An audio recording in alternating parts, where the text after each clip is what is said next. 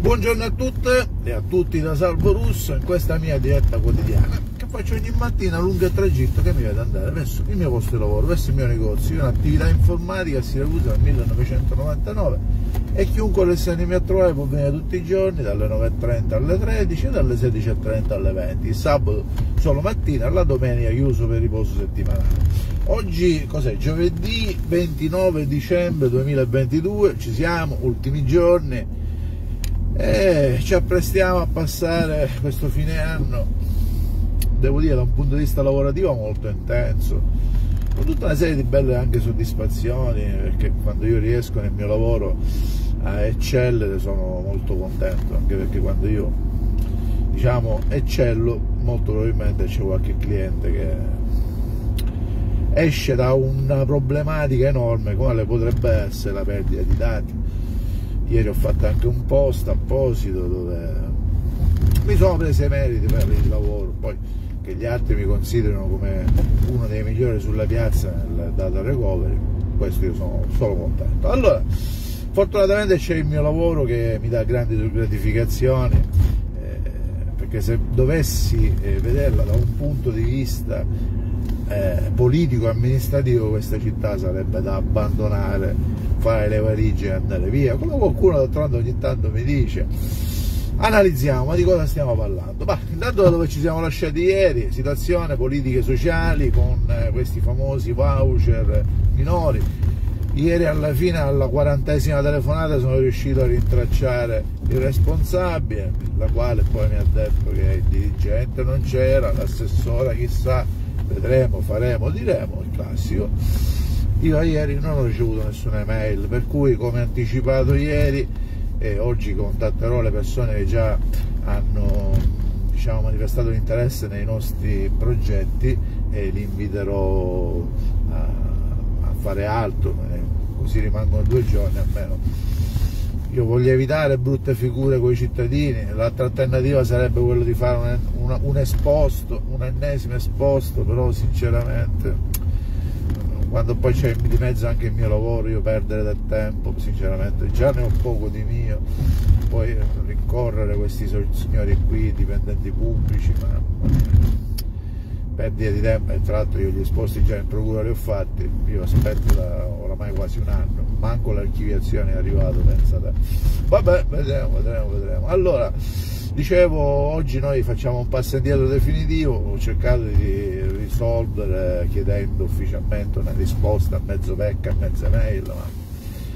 ovviamente eh, il gioco è quello di non darci risposte, la risposta arriverà il primo giorno utile, quindi sicuramente il 2 dicembre ci diranno no, potete procedere, ma scusate, per tempo è scaduto il 31 gennaio, perché non avete risposto nei 7 giorni precedenti, 8 giorni precedenti? sapete come funziona la burocrazia, la politica, e poi figurate io sono una persona molto antipatica, ma pensate se rispondono.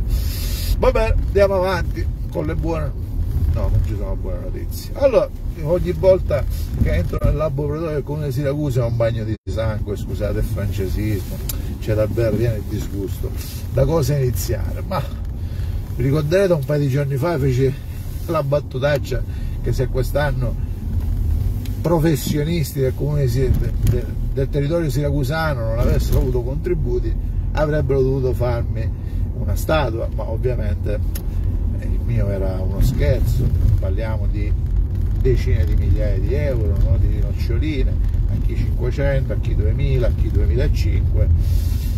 il contributo per fare, adesso non mi ricordo il termine tecnico, comunque per fare propaganda istituzionale al comune di Siracusa, a questa, a quella, a quella testata. E poi qualcuno si meraviglia, mi dicono ma perché due notizie, comunicati stampa del comune artisti siracusani, io non lo leggo da nessuna parte se non sul tuo blog piuttosto che sul tuo profilo Facebook e sui vostri social. È ovvio,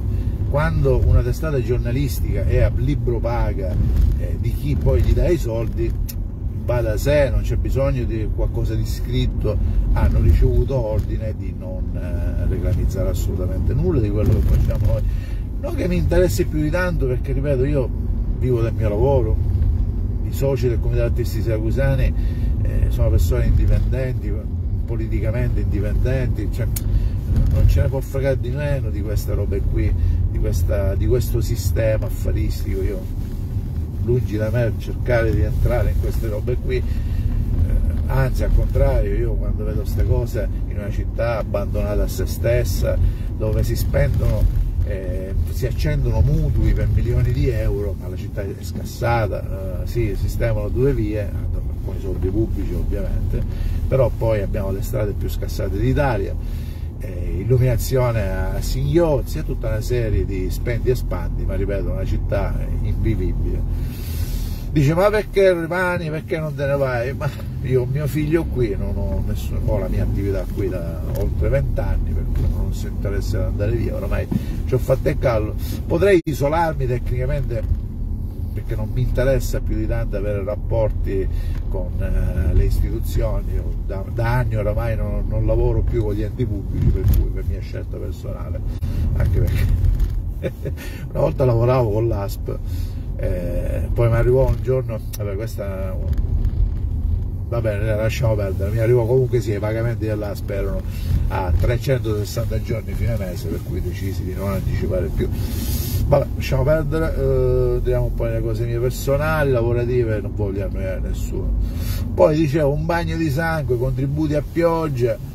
eh, a professionisti, io li chiamo professionisti, boh, vabbè, comunque a professionisti, contributi a pioggia, affidamenti diretti ad associazioni per eventi, spettacoli, e là anche botte di cifre non indifferenti, dai 3.000 euro ai 15.000 euro e giù di lì ai 20.000 euro, cioè, la, uh, io l'ho chiamato, come l'ho chiamato, assalto alle diligenze e poi trovi magari una determina dove c'è un prelevamento dal fondo straordinario che se, io lo chiamo fondo che se il comune perde una causa deve risarcire. E trovi una una cosa particolare dove è stato fatto un esproprio per crearci un asilo, credo sia zona Mazzarona, eh, una persona che un pochettino ha detto che legge le carte sa benissimo che zona Mazzarona ci sono tantissimi appezzamenti di terreno del comune di Siracusa. E ti poni la domanda perché il comune di Siracusa abbia fatto un esproprio a un privato. Perché c'è la sentenza del TAG Buona della favola e come Siracusa perde la, la causa deve tirare fuori adesso mi ricordo se 68.000 88.000 euro da dare al privato per un terreno spoglio con tanti terreni che il comune di Siracusa aveva questo è qualcosa di geniale. Uh, Andreotti diceva che a pensare male eh, è peccato ma spesso ci si azzecca. Io potrei anche pensare male e pensare No, lo dico perché questo è querelabile, per cui meglio non lo dico. La cosa mia bellissima è che io quando mi muovo mi muovo con le carte, per cui alcune cose che par, potrebbero sembrare querelabili tecnicamente non lo sono, perché io riporto i dati eh, macroscopici nei documenti, negli atti pubblici, per cui tutto producibile, screenshot eh, producibili, per cui però mi arrabbio spero che i prossimi poi tra l'altro vi invito ad entrare in piazza Siracusa che è la chat whatsapp che ho realizzato dove ieri sono dovuto entrare a gamba tesa perché c'era una persona che tra l'altro non so assolutamente chi sia diceva ah, ma sai io l'attuale amministrazione la voterei. E io gli ho detto guardi io personalmente eh, io non so chi lei sia ma non me ne può fregare di meno però guardi chi ha bloccato il volontariato civico di Tappami che gratuitamente metteva in sicurezza buche, chi si sottopone ad affidamenti diretti senza bandi pubblici, io parlo sia del pubblico che anche del terzo settore, cioè aziende che fanno eventi, spettacoli e quant'altro, ma parlo anche di associazioni del terzo settore, senza bando pubblico, affidamenti diretti, secondo me sono dei criminali, perché oggi che un comune è sul piede del default. Se domani mattina va a gamba all'aria, io questi signori qui li chiamerei in causa, tutti, e digli guarda il comune di Siracusa è in default perché tu hai preso questi soldini qui, perché tu non eri censito alla Tari, perché tu sporcavi la città. E vedete, quando poi tutte queste cose le vai ad assumere, fai la somma, ti trovi Siracusa nel 29 dicembre 2022, città dissestata, città abbandonata. Quando eh, ieri ho rimproverato un mio, un mio amico dicendo che lui sostiene che la città è sporca perché i siracusani la sporcano. La città è sporca perché delinquenti la sporcano. Delinquenti appoggiati da delinquenti amministratori, perché se un amministratore facesse il suo dovere di andare a sanzionare, di fare le multe, di in maniera coatta cercare di recuperare delle risorse dopo che tu hai sanzionato, ma non fanno nulla di tutto questo, perché questi signori qui cercano i voti. Non solo non fanno questo, non fanno attività di andare a, a evitare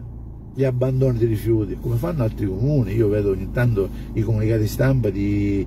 cos'è Sortino, di Avola, di Rosolini, Siracusa, tranne qualche spot pubblicitario del, da foto, non fa nulla. Io non vedo nel laboratorio del comune di Siracusa pubblicati in maniera non sensibile i dati. Oggi abbiamo multato Salvo Russo perché ha lasciato eh, un BC accanto al cestino io non le vedo queste robe qui. Perché? Perché è impopolare. Perché il prossimo anno in questa città si vota e questi signori qui attuali amministratori si stanno ricandidando a gestire nuovamente per altri cinque anni questa città e questo è scandaloso. Io cioè, sono davvero arrabbiato. Eh, ma perché non ti candidi tu? Io vivo del mio lavoro, io posso dare una mano, ma non mi posso candidare, io non ho tempo da perdere in campagne elettorali io darò una mano a chi saranno i prossimi candidati sindaco, sindaca che vorranno realmente fare un cambiamento in questa città. Ci metterò la faccia sicuramente, darò insieme al Comitato Artisti Siacusani il nostro supporto a quei candidati e candidate che meriteranno il nostro supporto, sottoscrivendo con noi un documento, come fece Berlusconi, la, la firma, cos'era il contratto con gli italiani, io però non faccio una Berlusconi e scendo in politica perché personalmente io mi occupo di altro, non ho tempo, voglia e passione. Non ho neanche l'età oramai, perché comunque sia, anche se io dichiaro di avere 18 anni, adesso siamo sui 47 e io a 47 anni mi devo occupare di mio figlio, mi devo occupare della mia azienda. Posso dare una mano nella mia città, ma sicuramente non mettendo il mio nome in una lista perché non sarebbe neanche coerente con quello che ho detto in questi anni. Una volta lessi un post di un signore eh, che scrisse perché non ti candidi? Un bell'articolo, tanto se lo cercate su Google lo trovate. Eh, perché non ti candidi? Un po' quello che ho detto io adesso, eh, solo che io lo dico da anni, lui ogni tanto lo rispolvera un'altra volta, sta roba qui. Eh, ognuno fa le proprie cose in base alle proprie competenze. Io penso di avere un know-how in questa città eh, unico, ripeto, posso mettere a disposizione il mio know-how di come risolvere le problematiche dei nostri progetti, delle nostre iniziative, ci siamo, ma non di candidato, anche perché, ripeto, non ho eh, il tempo, la voglia di, di fare politica, non è, non è roba mia, ripeto, non c'è più il tempo. Va bene, me ne vado a lavorare eh, vabbè, ripeto, l'abbo pretorio è un continuo susseguirsi di, di cose atroci, di, di, cose davvero che ti fanno arrabbiare. Però presto inizieremo a fare i corsi, diversi cittadini mi hanno chiesto di partecipare, probabilmente faremo oh, delle pillole magari su Telegram, vediamo un pochettino, perché molte persone sono incuriosite da questo, io capisco che molte persone eh, anche perché ripeto appunto il prossimo anno si vota, sono interessate da un punto di vista amministrativo capire come funzionano determinati passaggi. Va bene, me ne vado a lavorare, buona giornata a tutte e a tutti da Salvo Russo, ciao!